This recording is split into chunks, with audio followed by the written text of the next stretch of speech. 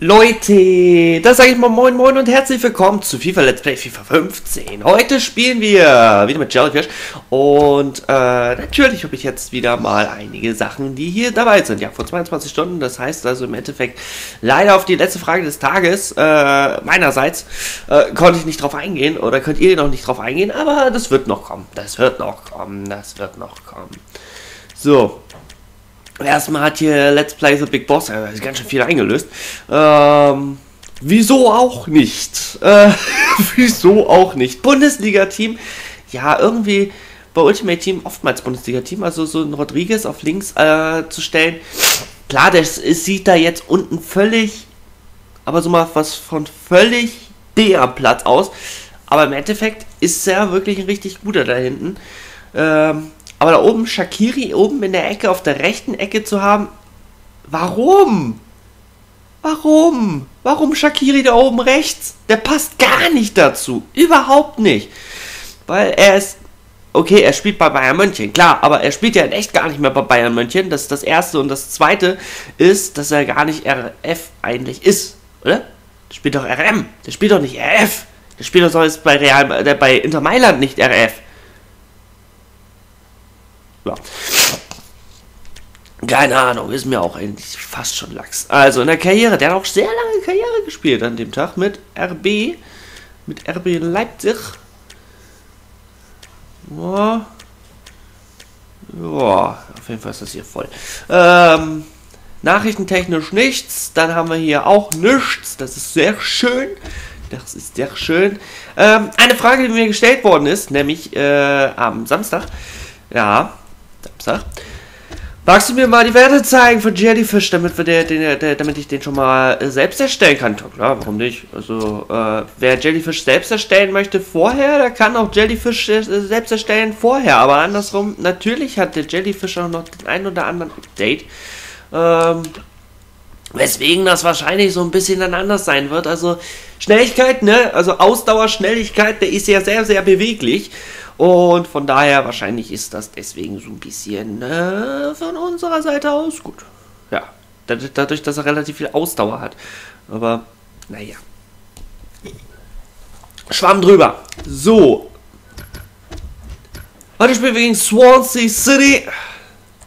Wir sind auf der Tabelle, das habe ich letztes Mal gar nicht gesagt, auf Platz 8 so, als, als, und als Achter haben wir jetzt natürlich die Chance, das, doch, das habe ich letztes Mal gezeigt, und als Achter haben wir jetzt die Chance, einige zu überholen, denn Everton hat ja schon gespielt, wenn wir zwei Tore Vorsprung holen sollten, könnten wir Everton überholen. Also heute heißt es nicht nur ein Spiel gewinnen, nein, am besten auch noch mit zwei Toren Vorsprung. So, wir spielen heute, ja, das habe ich auch, äh, da habe ich auch vor einiger Weile gesagt, ich habe wieder Leute gesehen mit diesem Shirt. Das ist unglaublich. Die Leute laufen heutzutage immer noch rum mit diesem Shirt. Warum? Ich weiß es nicht.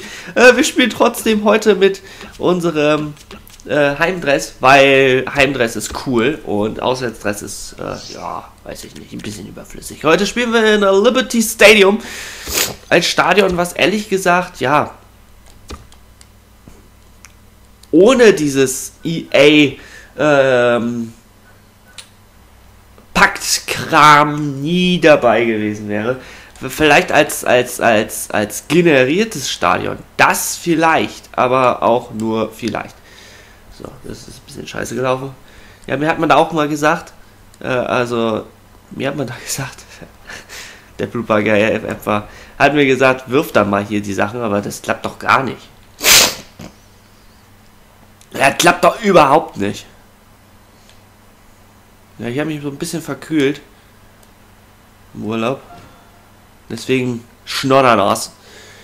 Eine Schnoddernas. So, wir haben natürlich, äh, die, es wurde auch äh, unter anderem der Kommentar gefragt, so von wegen, äh, gibt es die Frage des Tages nochmal? Ja, können wir machen, können wir machen. Dann kommen wir gleich auf die erste die Frage des Tages. Die bezieht sich ja jetzt momentan eher dann darauf auf kommende Let's Plays. Zum Beispiel, ich hatte ja mal Let's Test gemacht, nämlich zu äh, Formel 1 2000, äh, 1999 bis 2002. Ähm, das Let's Test ist damals mal so gar nicht gut gelaufen, sagen wir es mal so. Und ähm, nach einer Weile, so als hier FIFA so ein bisschen auf PlayStation-like kam und urplötzlich haben sie alle Interesse gehabt, so von wegen, oh, mach doch. Ähm, wie steht ihr jetzt dazu, Leute? Wie steht ihr jetzt heute? Heute im Juli 2015 dazu. Schreibt es mal in die Kommentare, ob wir das äh, ähm, Spiel spielen sollten oder nicht. Bei über 5 könnte man sogar sagen, ja, machen wir. Der wirft ja unten nach unten. Bei über 5 könnte man sogar sagen, ja, hm, sollten wir doch mal anpeilen vielleicht. Dann würde das ein Parallel-Let's Play sein, also parallel zu diesem Let's Play. Also, nee, zu Ultimate Team, dann zu Ultimate 1016. Dann werden wir so ungefähr im September anfangen damit. Denn ich habe noch ein anderes Spiel vorher geplant. Erstmal mal kommt hier The Blob fertig hoch. Irgendwie finde ich einfach die Zeit nicht, um äh, einen Stundenteil rüberzuladen und abzuspeichern. Ich komme einfach wirklich nicht dazu. Es ist einfach irgendwie schon ein bisschen peinlich, aber ja, ist schon okay. So. Also ab in die Kommentare, wie ihr dazu stehen solltet. Ja, nein, vielleicht. Gibt natürlich noch andere Sachen. Also hier die Nummer 1, die kam aus ähm, Arsenal. Da hat man natürlich jetzt mal gemerkt, aha, okay, Swansea hat zugeschlagen in der Hinsicht. Weil Ospina ja, wie gesagt, also, ne, Arsenal verkauft einen Torwart. Habe ich, hab ich beim Arsenal-Spiel schon gesagt. Ein Torwart verkaufen sie. Wenn sie aber beide, wenn sie einen losgeworden sind, dann ist vorbei. Dann äh, verkaufen sie den anderen nicht. Wird wahrscheinlich in der nächsten Saison ein bisschen anders laufen. Da haben sie ja drei gute Torhüter und da werden sie wahrscheinlich ähm, zwei verkaufen. Weil sie brauchen keinen Schächter im Tor. Apropos, sie brauchen keinen Schech im Tor. Äh, Top-Nachricht des Tages gestern. Ich war, ähm, also gestern gestern war Samstag. Äh, Top-Nachricht des Tages für euch vorgestern. Garcias geht von Real Madrid. Der ist weg. Ja, der wechselt nach Portugal. Ich war völlig überrascht. Klar, vor einigen Jahren hieß es äh, so von wegen, oh, Manchester United und so und so. Und äh, ja, so ein Garcias, ne? Weil der ja damals, äh, in der, damals war das ja so, dass Garcias ja keine äh, Spiele spielen durfte. Da, da durfte immer nur die, der, der Nummer 2 ran. Und da hat man dann gesagt, oh ja, nee, Garcias, hm, den brauchen wir nicht mehr. Und plötzlich, zack, letzte Saison durfte er doch nochmal mehr Spiele spielen. Deutlich mehr. Ich glaube fast, er hat, glaube ich, glaube ich, alle gespielt. Ähm und zack. Ne? Bist wieder gut dabei. Ah, oh, ja, der ist schlecht getroffen. Sehr schlecht getroffen. Ähm, ja, damals war De Gera auch als äh, Nachfolger ganz groß getitelt. Mal gucken, wer jetzt Real Madrid dann im Tor vertritt. Also, ich glaube, das Ding mit De Gera ist noch nicht ganz durch, oder? Der, bleib, der bleibt doch noch bei Manchester. Aber wer bleibt, wer ist jetzt dann der Torhüter Nummer 1 bei Real Madrid?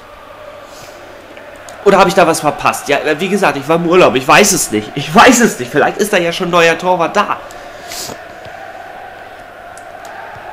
Vielleicht die klassische Nummer 1. Aber Manuel Neuer, ich weiß zumindest, dass aus der Bundesliga keiner kam. Manuel Neuer nicht. Bernd Leno ist auch nicht gegangen. Trapp ist nach Paris gewechselt. Ähm, Ter Stegen spielt noch weiterhin in Barcelona. Äh, Weidenfeller ist auch eine. Der Weidenfeller, da, da weiß ich auch nicht so ganz. Weidenfeller, warum der jetzt nicht geht. Roman Birki wird wahrscheinlich im Tor stehen, aber ein Roman Weidenfeller als Nummer 2, ich weiß nicht. Oder wird der Weidenfeller jetzt noch als Nummer 1 in Dortmund gehandelt? Ich kann es nicht sagen. Ich kann leider nicht sagen, ob oder ob nicht. Zumindest weiß ich, dass die Torhüter eine große Frage sind. Also wer, wo, was, wann, wieso, weshalb geht. Ja, Jellyfish scheint nicht sogar gerade nicht so in Topform zu sein. Ähm, Ecke? Nein. Welcher Torhüter denn jetzt wohin geht, aber grundsätzlich in dieser Transferphase sind ganz schön viele Keeper los, ne? Also die gehen und dann kommen und äh, es ist unfassbar. Sonst ist es eigentlich oftmals so, dass dann die Stürmer so im äh, Blickfeld stehen. Arg, arg, arg, arg, nein, nein, nein, nein, nein. ähm, die Stürmer hauptsächlich im Blickfeld stehen eines, eines Transfermarktes. Aber dieses Jahr sind es die Torhüter. Ganz kurios. Auch so ein Keeper wie Lenorak, der ja jetzt nach Stuttgart gegangen ist. Ja, äh, eigentlich eine gute Sache. Der Punkt ist bloß der, ähm, neben Lenorak hat man noch den polnischen Nationalkeeper geholt. Also das ist, weiß ich auch nicht. Also natürlich zwei Torhüter zu holen, ne? Ulreich ist ja, ja, steht klar im Abseits. So, jetzt steht nicht im Abseits. Dementsprechend, ne?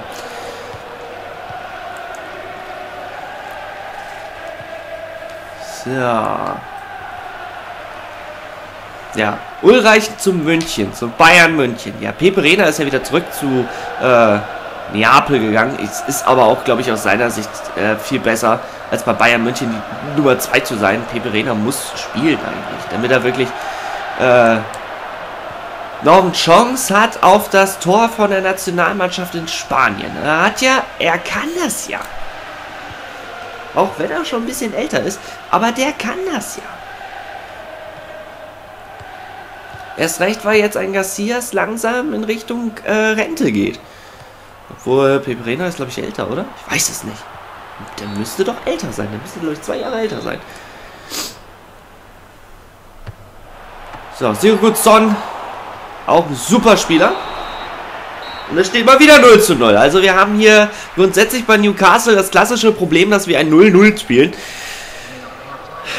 Wie gesagt, das ist dieser... Das, äh, man hört den Druck äh, hinter, hinter der Kamera. Ne? Ihr wisst ja schon, ihr sagt so, oh Mann, jetzt kommen zwei Tore, ey, zwei Tore, dann schaffst du schon Everton. Aber, ja.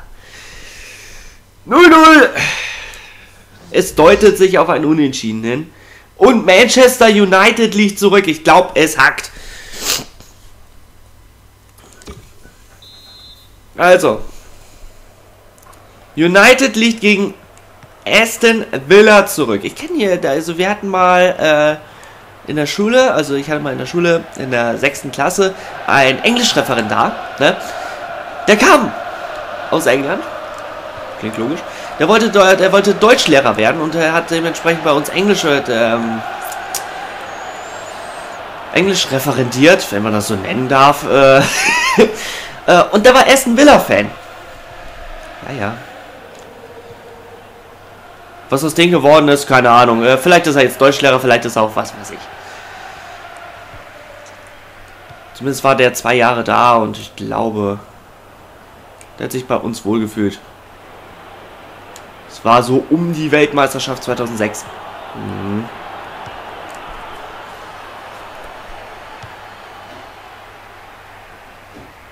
So, Einwurf.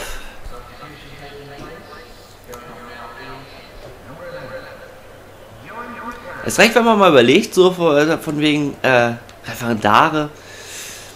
Kennt ihr irgendjemanden in eures Freundeskreises, der jetzt demnächst Lehrer werden möchte? Oder Lehrerin werden möchte? Schreibt es mal auch in die Kommentare, wenn ihr Lust drauf habt. es ist, ja, heutzutage, es ist einfach auch manchmal so, dass zwischendurch die Leute, ähm, die Leute völlig andere Wege gehen. Ne? Man kennt ja welche aus der Schule und dann denkt man sich so, oh cool und yay und, ne? Und Manchester United hat ausgeglichen, ja, dann ist auch alles völlig Wurst. Dann können wir uns wieder auf Fußball konzentrieren und nicht auf irgendwelche Berufe. Wow, ja, das, das ist immer dieses Durchrun, dieses Brechstange.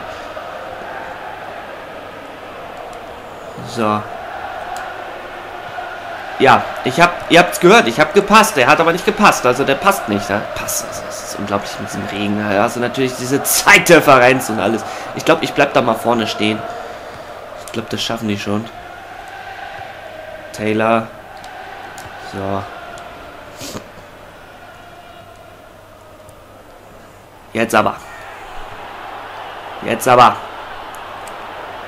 So, wieder draus rumtricksen. Nein! Da geht er knapp am Kasten vorbei. Ja, unser eigener Mann, der war ja auch noch da. Der stand aber da auch im Abseits. Den hätten wir jetzt nicht anspielen können. So, Wechsel. Bei uns wahrscheinlich der klassische Wechsel. Ja, so sieht's aus. Anita wieder raus. Der verlässt ja immer wieder den Platz. Also, das macht aber nichts, wenn du so einen klassischen taktischen äh, so ein klassisches taktisches Prinzip hast, wo du sagst so von wegen, okay, der raus, der rein, dann kannst du es doch auch machen. Na, du musst ja hier nicht... Ja, du musst ja hier nicht äh, richtig taktisch agieren. Das habt ihr auch oft bei den Sta habt ihr oft auch beim Freundschaftscup gesehen, dass ich zum Beispiel so welche äh, meine Defensivleute, also wie Matic oder äh, Fabregas rausgewechselt habe, dann für Ramirez und äh, Zuma. Grundsätzlich Zuma stelle stell ich gerne dahin auf die ZDM-Position. So, jetzt aber. Jetzt aber. Na, aber es ist doch alles, ist doch. Mann, ey, das kann nicht sein. Da haben wir mal einmal diesen die Möglichkeit hier wirklich was zu reißen. Okay, das letzte Spiel haben wir auch per, per äh, Eigentor gewonnen. Aber Oh Mann, ja, da müsst ihr auch mal mitkommen. Ne, das ist das große Problem, wenn du ein einzelner Stürmer hast. Klar, du musst so einen Stürmer haben, der grundsätzlich hier durchpreschen kann. So, aber ich bin hier ein kleiner, es ist ein kleiner Stürmer, der aus Neuseeland kommt. Ich brauche Hilfe. Ne, wir holen hier die ganze Zeit Hilfe, aber im Endeffekt, ja, das deutet sich hier echt alles auf ein 0 zu 0 hin. Also, unser Keeper hat fast nichts zu tun, aber andersrum, ja, treffen wir das Tor einfach nicht. Und das ist bitter. Also heute wieder keine Tore. 0-0. Traumchance verpasst, würde ich mal sagen. Also, unser Team freut sich vielleicht ein bisschen, aber ehrlich gesagt ist das mal so gar nichts wert. Wir haben 35 Spiele jetzt absolviert mit Jellyfish und wir haben eine 7-2. Also, das ist jetzt nicht irgendwie unterweltlich. Wir sind ja schon fast Spieler des Tages. Ich weiß nicht, ob wir Spieler des Tages sind. Äh, nein, sind wir nicht. Denn der Spieler des Tages ist der Innenverteidiger von Swansea. Ja, aber auch wahrscheinlich zu Recht, weil der hat ja mehr mich aufgehalten als alles andere, oder? Ich glaube schon. So, Manchester United hat unentschieden gespielt, also gegen Aston Villa. Tottenham Hotspur ist ein klarer Sieg, also jetzt sind sie endlich mal aus ihrem Tief raus. Nachdem sie wahrscheinlich unser, das Eigentor gegen uns gemacht haben. Ja. Wird schon so hinhauen. So abgestellte Spieler für die Nationalmannschaft. Da seht ihr, wir sind nicht dabei. Wir sind, ich, ich bin, wir sind nicht dabei, egal. Wahrscheinlich, weil die Europa, die europäischen Spielmannschaften jetzt spielen, ne? Ich glaube schon. Oder steht das grundsätzlich da, dass wir hier irgendwie irgendwas mit national spielen? Ja.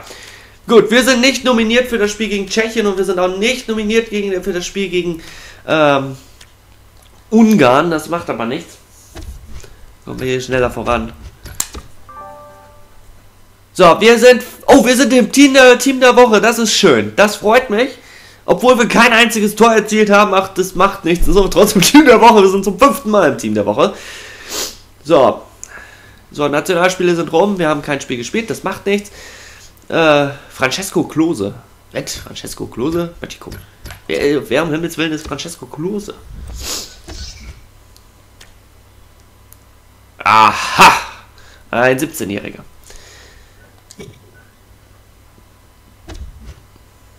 Ein Italiener, der, der aus Polen kommt oder was? Keine Ahnung, und dann für die deutsche Nationalmannschaft spielt. Super. Also, ja, keine Ahnung, ich weiß es nicht. Also, wir sind weiterhin auf Platz 8, wir gucken da weiterhin rum. Und ich würde sagen, wir sehen uns nächstes Mal wieder, wenn ihr mögt. Äh, wir spielen als nächstes gegen Aston Villa, habe ich gerade gesehen. Und Aston Villa ist auf Platz 10, also die stehen hinter uns mit einem Sieg, falls alle anderen da oben verlieren sollten. Aber Überraschung, Überraschung, Hall City ist auf Platz 5. Also da wollen wir auf jeden Fall hin, mindestens Platz 5.